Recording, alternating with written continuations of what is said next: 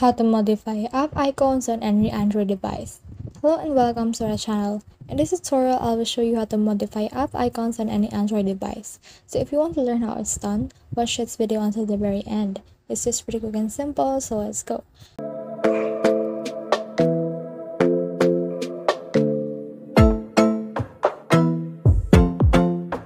So what you need to do is just head over to your Play Store and search for Nova Launcher. Then after that, just download it and open it. And you should be able to see the screen. Just choose your theme, your color, and then your icons right here.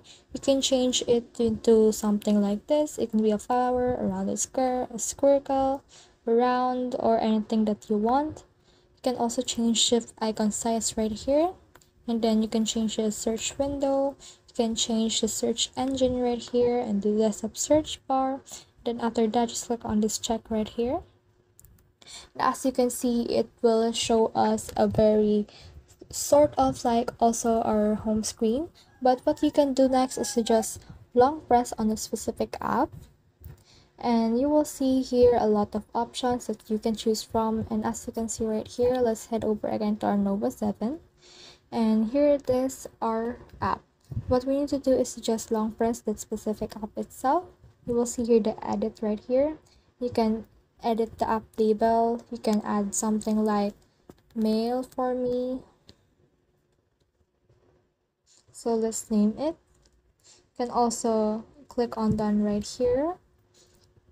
And you can also click on this specific app right here or the space. And then you can add some widgets or whatever you want to add. Then if you click this Nova set right here, you can see this look and feel or look and feel right here.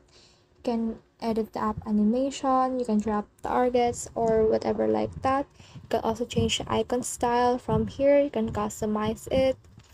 You can also click on this follow system or more that you want. It can be hexagon if you want to. You can also change this Android 7.1 icons can add shadows or you can remove shadows. It depends on what you want. So that's the whole process. Hopefully this video helped you to modify app icons on any android device. If you have questions or comments kindly put in the comment section below. And if not don't forget to subscribe and like. Thanks